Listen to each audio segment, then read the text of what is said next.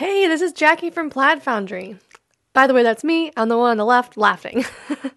that's my sister Molly on the right. So, we are here today because you have downloaded and gotten one of our 22 one sheet templates. That's so awesome! Thank you. So, now we're going to walk through the steps so you can become an ace designer in Canva. Okay, let's get to it. Before we start, though, just a little reminder you want to use an internet browser on your desktop or laptop like Google Chrome or Safari and not Canva's mobile app, which is great, but it's really better for quick fixes on the go. So, we're in an internet browser right now.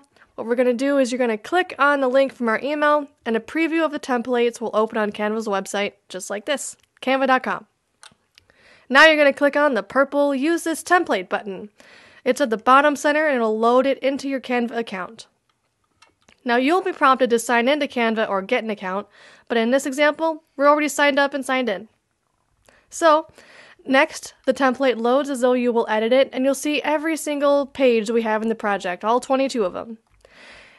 now, if you exit off this window, you'll just want to go to canva.com and click the, the shared with you um, button. It's on the left sidebar and then you'll click on the template. You'll use this template and it'll say make a copy.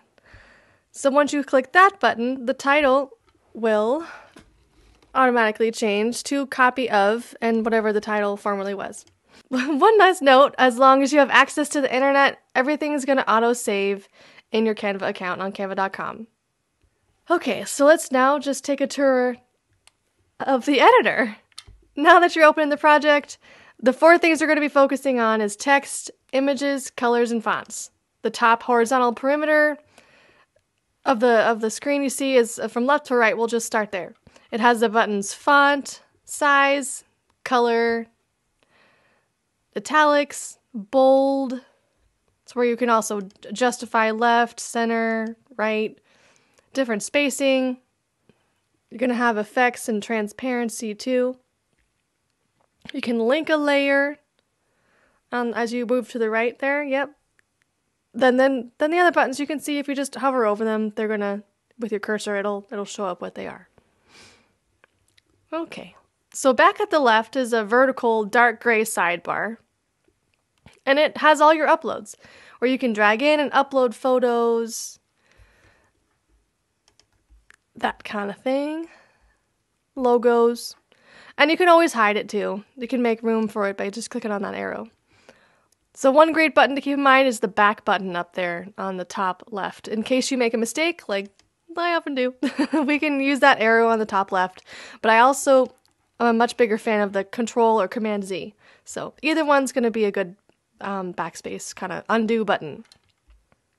One of the last buttons on the editor in Canva will be the zoom in and zoom out features. That's going to be on the bottom right corner. You can use the slider, or you can see all the pages side by side, sort of in a grid view. Or you can click and you can see the little 22 on the bottom. That's going to show you all of our, our templates in this set. So for us right now, we're going to use page 9 though. So why don't we open up that and get to editing. Let's start at the top, work our way down. First is the name and the headline. If you have a logo, just delete the text box. Otherwise, just type in your headline or topic. Click the layer and type in the text box provided, and then click and paste in your summary. And just kind of move down the page to the different text boxes the About Me section,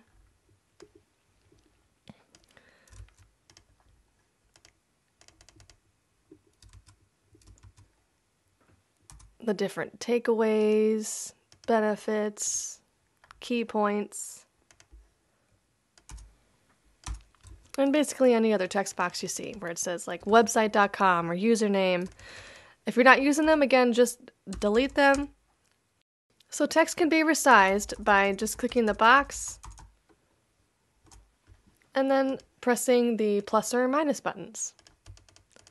That'll decrease or increase the size, and one little tip though, we don't suggest that you move the little white lines on the side there because that'll end up just kind of moving the entire box, which is going to be a little frustrating.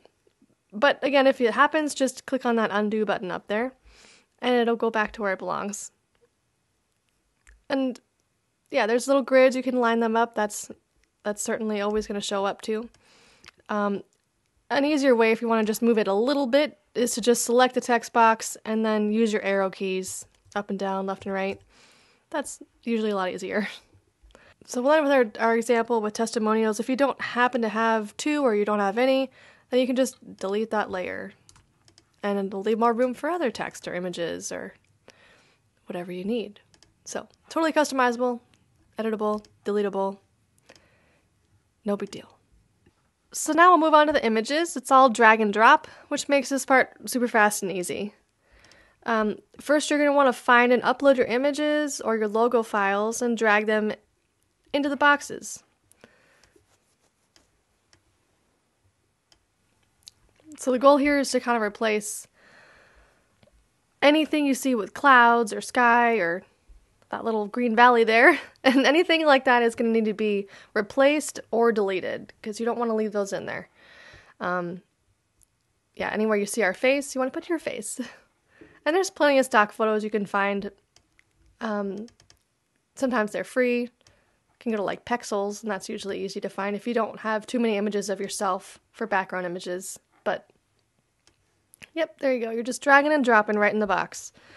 If you want to resize it, even though it automatically does it, usually it's pretty spot on, but you can manually adjust the photo by double clicking and dragging your cursor out or up or down to adjust the image where it's placed into the frame that we provided. So for logos, whether you're putting it up top or, or anywhere like in that as seen on section, let's say you want to put past clients there, that sort of thing, you'll want to click on the picture in your upload section and then it'll pop onto the page just randomly. That's that's totally normal. But you want to resize it and reposition it wherever it ends up. It's supposed to just show up. You don't want to necessarily drag the photos like we did with the regular um, like profile images because once it gets into the tiny little boxes, it, it doesn't it doesn't resize right. The photos, for some reason, I'm not sure why it's logos, but logos just let it pop itself in and then put it where you want to put it. Here's the arrow keys. Yay. So another logo. It just kind of popped itself in. We're going to resize it. Put it wherever we please. One of the cool parts of Canva, I think, is, the transparency. It's a really neat um, aspect and feature, and changing it makes it feel super custom and, and unique instead of just a background color or just a regular image. Um, it can really make another image pop uh, the other elements. So to do that, you're just going to click on the photo layer, go up to the top right, and drag a couple buttons. We call it a, some call it opacity or transparency is what we tend to say. So yeah, it's pretty cool. You can just adjust it as you see fit. So now that we got all the main elements in, we want to make sure that's working together. Once you have all your text and images, just take a look around, what colors you might want to change, font sizes you might want to alter. Experiment we mentioned before about making things linkable, which is one of the main aspects of your one sheet.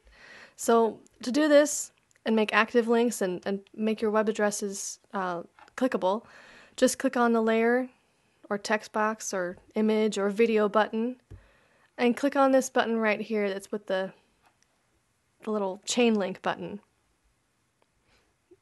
Then you're going to want to type in the website, YouTube, Vimeo channel, whatever your sizzle or highlight reel um, embed link is, and you're going to paste it right in there.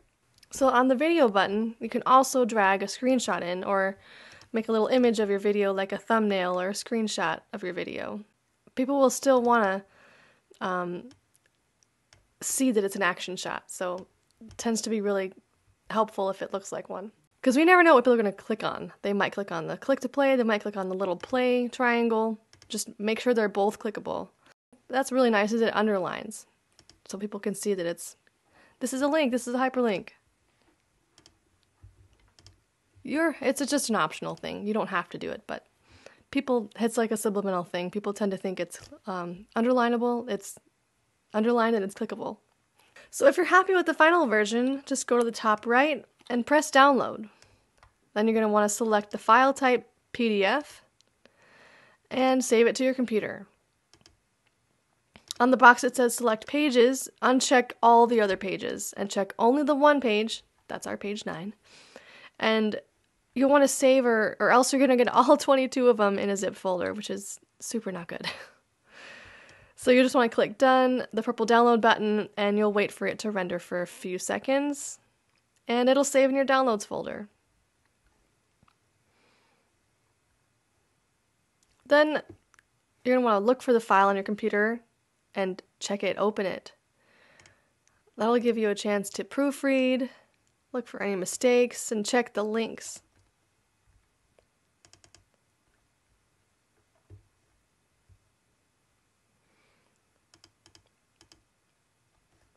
So click on the links and make sure they're working. Should open up in a new tab or a window.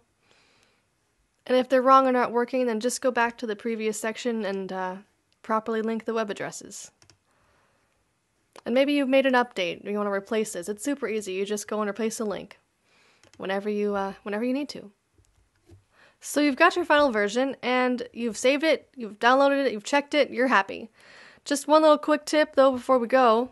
Once you've downloaded it um, and saved it, you might have version 1, 2, 3, 4, 5 or final, whatever you want to call it just make sure that wherever you're saving on your computer, it's the only newest copy that you have. Otherwise, if you need it at a moment's notice to attach to send to a, a booking agent, you'll you won't have you'll need to have the best version, the most accurate one, with the one without all the typos and mistakes. So name it and save it in a safe place and make sure it's the only one you have.